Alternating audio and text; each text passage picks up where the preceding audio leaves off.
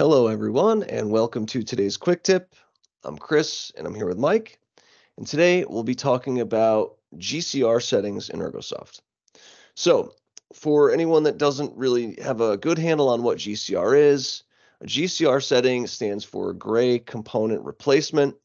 And basically, what you do with CMYK Ink model is you utilize CMY to generate your grays or your neutral tones. And you do that up to a certain point until you need a very a dark enough shade so that black has to be used. So there's a recipe for using CMY for your light gray up to a certain you know density of of dark and then you're using black.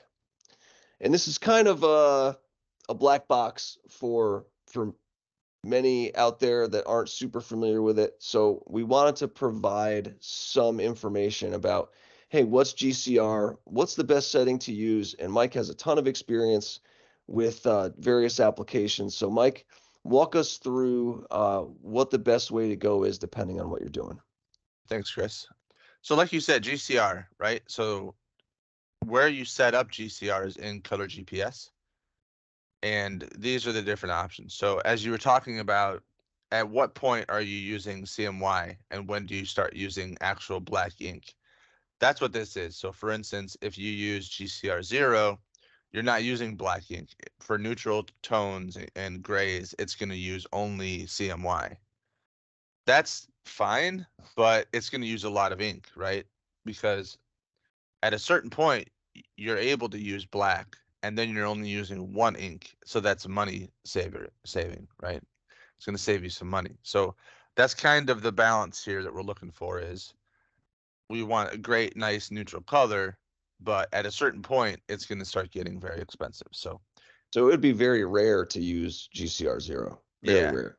I I never have. Um, as you mentioned in, in all the profiling that I've done, I've never used GCR zero. Um, and so real quick, I'll go over these options as you can see on the screen. GCR1, it's going to use black ink in the very dark tones. So basically black, right? In the dark tones, it's going to use black if you do GCR2. This setting is what I use, I would say 90% of the time, 95% of the time. And that's because if you have, let's say, a, a very dark blue or a dark purple or whatever, it's going to use some black and then it's going to mix in with the CMY mixture and it's going to make a nice smooth color. Um, the reason you wouldn't want to use black in down here for GCR three or four, you you wouldn't want to use GCR three or four unless you have either like a light black ink in your printer or a gray ink. Let's say you do GCR four and you have black in light tones you're printing a person a portrait and people's faces have lighter you know tones in it it's going to use black ink. Let's and it'll you'll see like maybe speckles or dots in it that shouldn't really be there. That's why you use the gcr so if you use gcr2 for that same image it's going to use cmy to mix to make those lighter neutrals. And it's going to look nice and smooth instead of looking interesting with little dots and speckles all over it so that's how you tell what setting you should use is what printer you have and what ink it has, basically. Okay, that's a really good point. So essentially what we're saying is GCR2 is a great standard to use. If you're not familiar with what GCR setting to use and you don't have a crazy application, go with GCR2. You should be fine.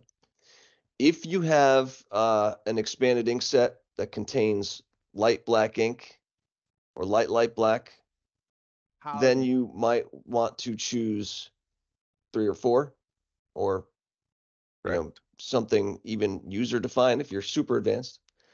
Um, and then really just use it as a rule of thumb.